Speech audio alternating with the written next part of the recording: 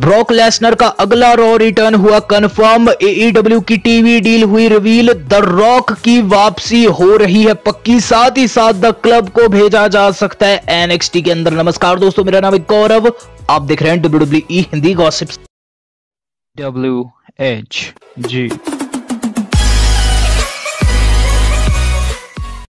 तो दोस्तों, आज की इस वीडियो के अंदर हम चार बड़ी खबरें कवर करेंगे और होप करता हूँ कि आप इस वीडियो को अंत तक ज़रूर देखिएगा सबसे पहले बात कर लेते हैं ऑल इलिट रेसलिंग यानी कि एईडब्ल्यू की। तो एईडब्ल्यू भी दोस्तों, अब आपको रॉ और स्मैडाउन की तरह वीकली बेसिस पर देखने को मिला करेगा और टीवी डील हो चुके रिवील दरअसल दो अक्टूबर को हर बुधवार ये टीएनटी नेटवर्क के ऊपर देखने को मिला करेगा।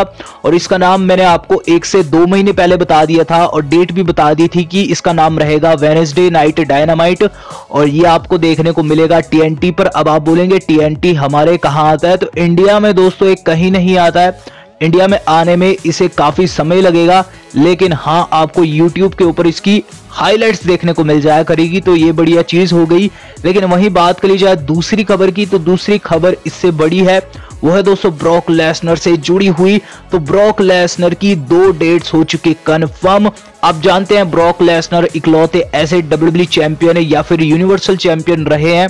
जिनके दोस्तों हर हफ़्ते रिटर्न डिस्कस होते हैं क्योंकि वो आते ही नहीं है, लेकिन अब दो डेट्स हो चुकी है कन्फर्म और पहली डेट है दोस्तों ट्वेंटी ऑफ़ जुलाई की 29 जुलाई की डेट रहने वाली है, यानी कि अगली मंडे नाइट रॉ के अंदर हम देखने को मिलेंगे और ये रॉ होगी दोस्तों वेरी जोल एरिना में वहीं बात की जाए इससे अगली डेट की तो वो रहने वाली है समर स्लैम से पहले की आखिरी रॉ यानी कि उससे अगली रॉ यानी कि दोस्तों आपकी पाँच अगस्त की रॉ और वहाँ भी दोस्तों वो हमें देखने को मिलेंगे। ये होगी पीटर्सबर्ग में तो काफ़ी बढ़िया खबर है, क्योंकि ब्रॉक लेसनर अगर किसी रॉ का पार्ट होते हैं तो संभावनाएँ बढ़ जाती है कि उस रॉ के अंदर हमें एक्शन देखने को मिलेगा। तो ब्रॉक लेसनर आने वाले हैं और धूम मचाने वाले हैं, लेकिन अब हम चलते हैं आज की अपनी तीसरी बड़ी खबर के ऊपर, और तीसरी बड़ी खबर जुड़ी हुई है ओसी यानी कि द क्लब से।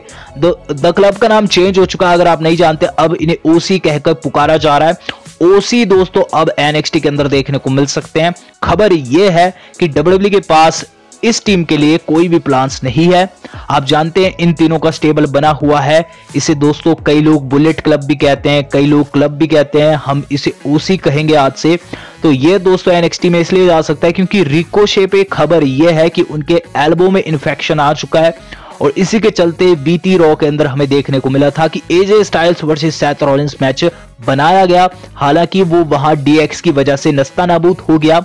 लेकिन दोस्तों, अब एक इवेंट के लिए, यानी कि आप रख के चल सकते हैं। एक दो हफ़्ते के लिए डब्ल्यू ओसी को भेज सकता है एनएक्सटी के अंदर।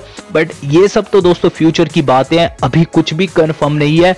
चलते हैं कंफर्म्ड न्यूज़ के ऊपर। वाइज वो जुड़ी हुई है ब्रामा बुल द रॉक से।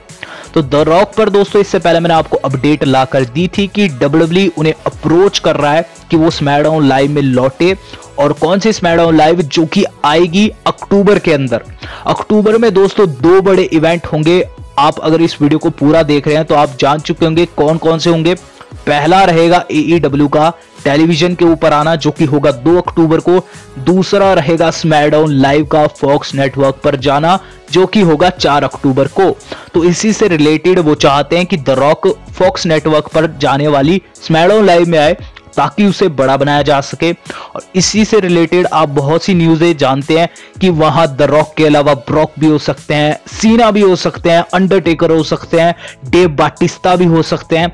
लेकिन दोस्तों द रॉक को हाल ही में जो डब्ल्यू ने अप्रोच किया है, खबर यह है कि काफ़ी पॉजिटिव साइन आ रहे हैं द रॉक की तरफ़ से। पर हाँ द रॉक ने अभी तक कुछ कमिट नहीं किया ये भी सच है। लेकिन आप रख के चल सकते हैं कि द रॉक हमें वहाँ देखने को मिलेंगे, क्योंकि ये काफ़ी बड़ी चीज़ होने जा रही है रॉ यूनियन की तरह कोई छोटी मोटी चीज़ नहीं होगी। अगर दोस्तों WWE को ज़िंदा रहना है इस बैटल में, जो कि एईडब्ल्यू के साथ चल रही है, उन्हें अपने स्पोर्ट को, यानी कि अपने जो एंटरटेनमेंट बेस्ड शो जो कहते हैं, उसे थोड़ा सा ब्रूटल बनाना पड़ेगा। अभी तक दोस्तों, इसे बहुत कम अडल्ट लोग देखते आ रहे हैं, लेकिन फॉक्स नेटवर्क वाले चाहते हैं कि डब्ल्यू इसे बड़ों को देखने की चीज़ बनाए। तो द्रॉक इसके लिए समय ज़रूर निकालेंगे और आपको देखने को मिलेंगे। तो काफ़ी ह्यूज चीज़ होगी। इस चैनल के ऊपर भी कुछ ह्यूज होने जा रहा है। तो इंतज़ार करते रहिए। पर दोस्तों, आज की वीडियो इतनी थी। आज तक के लिए इतना ही। धन्यवाद। शबहर